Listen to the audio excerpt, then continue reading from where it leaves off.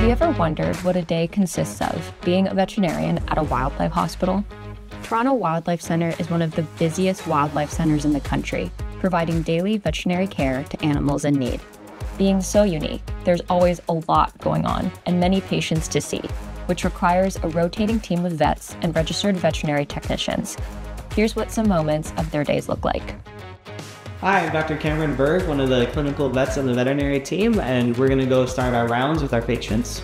We're to basically go through and look at all the patients and make sure that they're doing very well, making sure that they're eating, all their diseases or injuries that they came in with are being treated in an appropriate way, and that they're responding well, and help address any issues that have come up in their care while they're here. Let's get started. So like every patient that comes into TWC, we perform a head to tail physical exam to look for any kinds of issues or injuries. So we just got in a short-eared owl who presented with this history of having these short spurts of flight. So probably something wrong and we're gonna go through and try to find out what that could be. So we go through our physical exam. I usually start at the head, move our way down. Other things that we might do is we might do x-rays. Sometimes we do them routinely just to check if we've missed anything and other times we have the suspicion to do so. We'll also collect blood in order to look at this basic blood work and sometimes a more comprehensive blood panel. Other things we do is we make sure we check out their ears, and especially in the owls who have these large ears. And we'll also look at anything that might affect their feather quality. So in this guy, very large, though probably normal for a species, uropygial gland or preen gland, which secretes the oils that help keep their feathers nice and healthy. So, so far his physical exam actually looks very good. He's very bright, nothing on his x-rays, but it's possible that sometimes they just come in because they hit a window and stun themselves. And they, overall it's a minor injury, but for the time they were a bit sore and stunned. Um, so we'll see what the issue is and monitor them over time.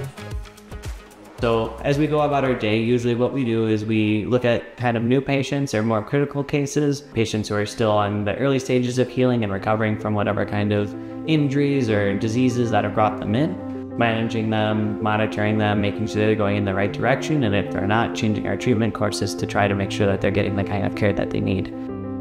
Here, wildlife veterinary intern Dr. Catherine Malhot, alongside wildlife rehabilitator Clements, examines a snake that was just brought into assessment after a homeowner found the animal inside the rails of their sliding door. So we got a little brown snake that just came in today. Uh, so unfortunately, it has a very serious um, injury to its spine, and we are going to do some X-rays for it. We take a picture and we are able to uh, find the lesion and really come up with a treatment plan. So here we have the x-ray of the snake. So the head is over here. This is the very long spine, which is what we wanted to look at. And we can see uh, each little vertebra and the ribs associated with it. We have the injury here. So there's like a, a little V-shaped point and when we zoom in, unfortunately, we can see a little fragment there. So there is a fracture and what we call displacement. We're still hopeful that with time and rest, and the patient is still showing movement, we are hoping that with medication, we can avoid much more swelling and we can be hopeful that he will continue to improve. Sometimes, diagnostic testing and physical exams indicate to the veterinary team that a patient may require a specific procedure, like this grebe who veterinarian Dr. Diana St. Clair and head registered veterinary technician Joe are preparing for surgery.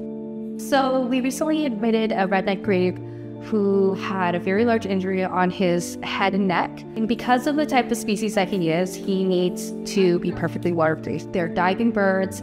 They go, they hunt in the water, they live on the water, they're pretty much always in the water.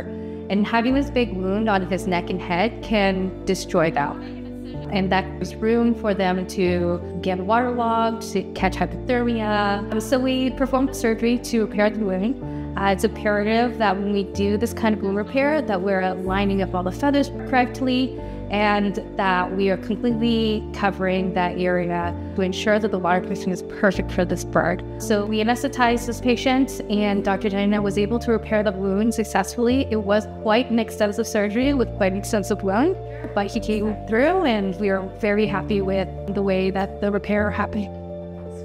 Thankfully, this grebe could now begin their recovery and care. The veterinary team is responsible for overseeing the entire medical journey for each animal. So, monitoring a patient's progress is just as vital as a life saving surgery.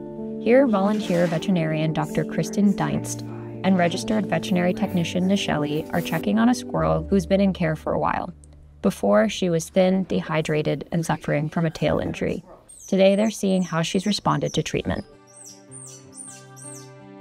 We just assessed this young female squirrel that had some issues with her tail. It was noted to have a bit of weakness and a kink at the tip.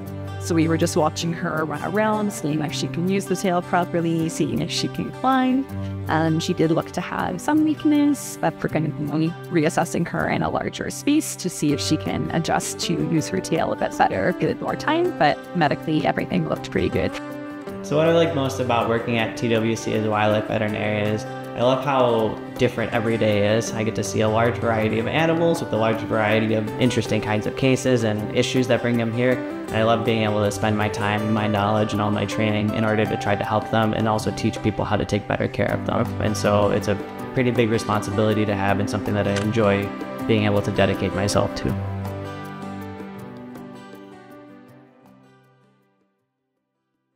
If you like our videos, please subscribe to our channel and make sure you hit the bell to be notified when we share new content.